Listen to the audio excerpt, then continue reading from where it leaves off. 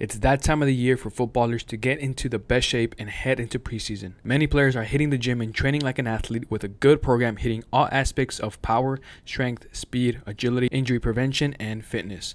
Some are using great programs while others are utilizing non athlete training programs, meaning some will enter preseason more prepared than others. For today's video, we will cover fitness and how to ensure you come back one of, if not the fittest player on your team. We will talk about specific drills, testing norms, and scheduling. With the hundreds of ways to perform fitness, it's hard to determine the best methods. With the help of research, my knowledge and experience, and experience from top professionals in the field, I will be providing you with the ultimate guide to match fitness. In the past, and even sometimes today, it still occurs, players would run three to five miles hoping that would get them in shape for their game and to an extent it will improve their aerobic capacity. However, does that actually help them prepare for the demands of the game and is there a better method for it? Research shows us that footballers typically run between 9 to 14 kilometers or 5 to 9 miles during a 90 minute game at different intensities like you see here. Note that distances covered across a football match at high intensities might also vary according to players' league, level, and age. Amateur players have been reported to perform less periods of high intensity running than professional players. Footballers more than ever before are beginning to understand match fitness is much more than just running 20 to 25 miles a week. After all, a match highly taxes both the anaerobic and aerobic energy systems. And with the game continuing to evolve, like you see from research, players are needing to cover more distances at higher intensities. At minimum, it should be the athlete's goal to ensure when they come into preseason, they can pass their fitness tests. In the college setting, that's going to be the biggest thing your coaches will want to look at because that will tell them a lot about you. Once you pass that test, preseason itself will contain a lot more running probably more on the anaerobic side, such as repeated sprints, giving you a chance to improve or maintain what you prepared for in the offseason. More on fitness test requirements later. The following fitness drills were created to improve that aerobic capacity at higher heart rate zones. The focus is to ensure that players pass their fitness test come preseason. And note that these fitness drills are done alongside everything that falls under the performance category of speed, plyometrics, power, strength training, and all that good stuff. All right, team. So here are all the fitness drills you will ever need. Maybe everything you see in blue is going to hit that aerobic zone, and everything that you see in red is going to hit more of that anaerobic zone. Let's begin with the 4x4 fitness drill. You can do this one one of two ways. You can begin by setting up this layout like I created right here, which I got from a study. What you want to do is run hard for 90 to 95% of your max heart rate for four minutes. The way that you calculate that is the formula that you see right here. And a common thing I get is how is that possible? Guys, it is very much possible. All my athletes do it. Try it first and then get back to me. The second way that you can do it is to just go to a park, hit the track, and hit one kilometer. So you're running hard, and your goal is to hit one kilometer in that four minute rep, which is also 0.62 miles. So if you do not get it the first time, guys, no biggie, keep working for it. So you got four minutes followed by three minutes of rest. And we are going to do that for four times. In that three minute rest, you want to keep your heart rate at 60% or begin with a slow walk and then progress to a light jog throughout those three minutes and then begin the next rep from there. And up next is the two minute on, one minute off for eight reps. The goal is to run hard and cover as much distance as possible in these two minutes. Tom Noon recommends 500 to 600 meters per run. The one minute off should be a very light jog, which is an active recovery. And the third aerobic drill is the two kilometer run three times, which is 1.25 miles. According to Tom Noon, running hard for two kilometers, aiming for eight to nine minutes per rep at three minutes rest between sets is the best way to go. So by now, maybe you're wondering why and how are these fitness drills so good and different from the rest? For one, they help build that aerobic base in an interval fashion to also help improve anaerobic endurance, allowing you to cover more distance in the same amount of time in comparison if you were running three miles straight. In one study, the 4x4 actually improved the 300 yard shuttle time significantly in eight weeks for the first team players of the Croatian national team, like you can see in this study right here. Now, will these drills help and prepare you 100% for the demands of the game? What it will do is help with your ability to last in a match and recover much more quickly and efficiently from repeated sprints. And that leads me to the next topic anaerobic fitness.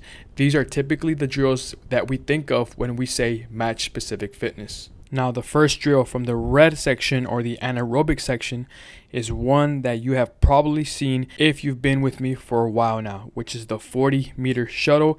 You may have seen it in my match fitness video, which is an outdated fitness video. For this one, we're to sprint 10 yards and back, 20 yards and back, 30 yards and back, 40 yards and back we have a 30 second rest. We do that for three times, and that is set number one. You're to do anything from two to four sets. In between each set, you rest for two minutes. This is one of my all time favorite ones, and the one I get the most complaints from, from a how difficult it is athletes usually tell me how horrible this drill was. This one is great because it will improve that repeated sprint ability with longer sprints and it will also help with that aerobic system to a certain extent. And I must note all fitness drills will intertwine and help with both energy systems, but one system is relied on more depending on the drill. Anyway, shuttles are great because you also get a change of directional stimulus needed for matches. Make sure you cut evenly on both sides. When performing each rep, try to get each rep under 40 seconds and we measure this in yards not meters. All right team the second anaerobic drill is to be the 300 yard shuttle. This drill can be done in two ways. The most common way is when you sprint 25 yards and back for six times which equals 300 yards. So that means 25 and back 25 and back 25 and back. That's six times. Again 300 yards. Typically if you can get it under 60 seconds, it means you're in decent shape. However, the Croatian national team, like we saw in the research where they did the aerobic 4x4, the Croatian national team was able to complete the 300 yard shuttle between 55 and 56 seconds. However, the only thing that wasn't clarified was if they did it in the 25 yards and back or if they did it the second way, which is 50 yards and back. Right, so there's two ways that you can perform this drill. Personally, if you want to get more of that change of directional work because you aren't getting that enough in your solo training and your team training, whatever the case is, I would go for the 25 yards and back. But if you're getting enough, do the 50 yards and back, and that is three times. You're to do this one between four and six sets. The last one here in the anaerobic zone one that you have already seen in my videos if you have been with me for a while and typically done more in season is the 50 yards and back is the half gasser which you sprint 50 yards and back and you rest between 30 and 45 seconds ish you do this for six times rest two minutes and you repeat two times this one we can even go a little bit more volume if needed again this is one that i typically don't use in the off season. I like to stick between the 40 yard shuttles and the 300 yard shuttles for that more specific football repeated sprints. But again, it's always good to have something else in your tool bag if you don't want to get as many change of directional work in, but you still want that quick repeated sprint effect. Now I'm going to show you how you can fit it into your schedule so you can organize things accordingly so you don't overdo it and so you don't underdo it as well. I want you to follow these next guidelines. How many times a week and at what part of the off season should I do these drills? This is one I got from a certain book, which I could not find the source, so I apologize to the author. With that said, I feel like this is too confusing for the average individual, so I created my own. I think this is a great way to simplify training. You will have to modify this according to your time of season. The further you are away from season, the more focus we put on the aerobic system. And the closer we get to preseason and in season, the more we rely on the anaerobic zone. Again, you don't have to follow this exactly like you see here, instead, use it as a guide. It's important to consider volume when choosing how many sessions and how many sets. I always recommend starting with the minimal sets and progressively increasing sets throughout the weeks. You want to do this because you want the body to adapt to the increase in volume in sprints involving change of direction. The body is amazing because it can handle a lot of volume, but what it does not like and does not appreciate is a sudden ramp up of volume. You will increase your risk of injury, so always keep that in mind and most importantly, listen to your body. You need to consider your game time, how many matches and fitness you're doing with your team. This is why I highly recommend a fitness test early on to know where you lie. If you find you are already in shape and have hit the fitness markers your coach has given you, then all you need to do is maintain. Now, I know a lot of coaches do not provide fitness tests, so I highly recommend you do one of the following. Some of the tests include the yo yo intermittent recovery test and the 3015. Most of y'all have probably already heard of the yo-yo test, but what a lot don't know is that there are six different variations to it. So we will only be going over the most commonly used test and scores, which is number five on the list, the yo-yo intermittent recovery test level one. Now here are some of the norms for both men and women I will leave a link in the description below for the full test data and levels. The other most commonly used test is the 3015 intermittent fitness test, not as known as the yo-yo test, but one being used at the professional and collegiate level right now. It measures maximal aerobic power, anaerobic speed reserve, inter-effort recovery, and change of directional abilities. They even have a free app with a guide on how to perform it. Go ahead and check out their website for more information.